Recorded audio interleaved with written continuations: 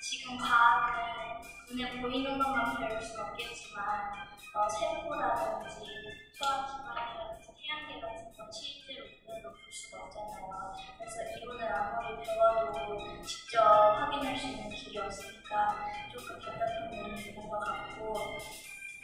수학은 어, 응용 문제를 배우긴 하지만 실제로 막 실생활에서 응용하는 경우는 거의 없어서 지금 배워봤자 어디에 쓸 수 있을까라는 생각이 가끔 들어요.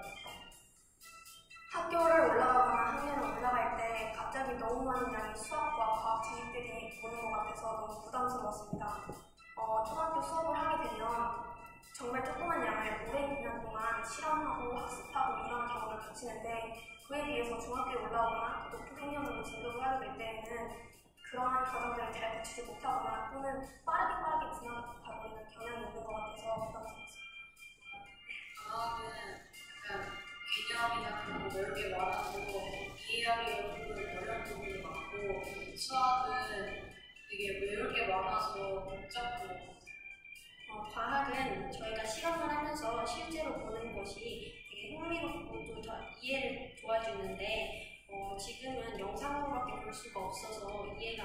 음, 스스로 공부해야 해가지고 힘들 때도 많았고 아무래도 실험을 하면 더 원리도 쉽게 이해되고 또 재밌게 활성할 수 있지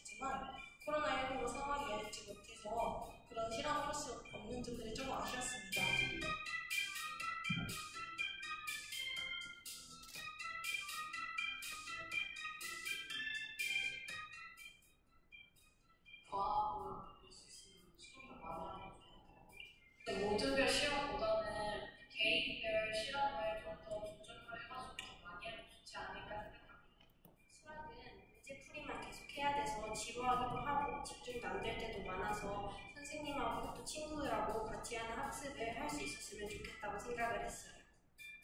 수학 같은 경우는 학습에 대한 공감이 아직 많은데 서로 수학은 김치라는 공간이 물리적으로 생각할 수 있게 만들어주는 경험으로 만들어줬으면 좋겠습니다. 초등학교, 중학교 올라가거나 또는 중학교에서 한 학년을 올라갈 때 너무 많은 양의 수학과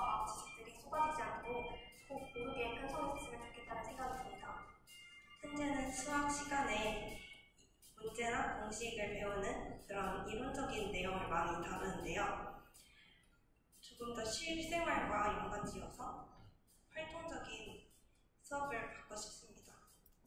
고등 연계나 중등 연계와 같은 그런 초등학교와 중학교 간의 그 갭을 줄이는 그런 수- 수학 교육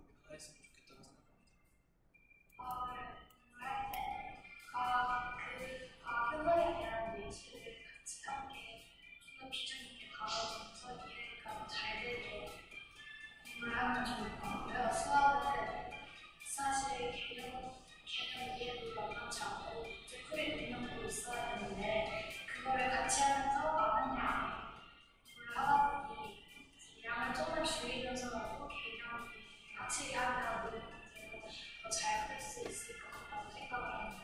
앞으로 수학이나 과학 쪽에서는 진로와 연관돼서 어떤 식으로 더 활용될 수 있고 또 어떤 분야에서는 어떤 과목을 더 특히 배우는지 등을 알려,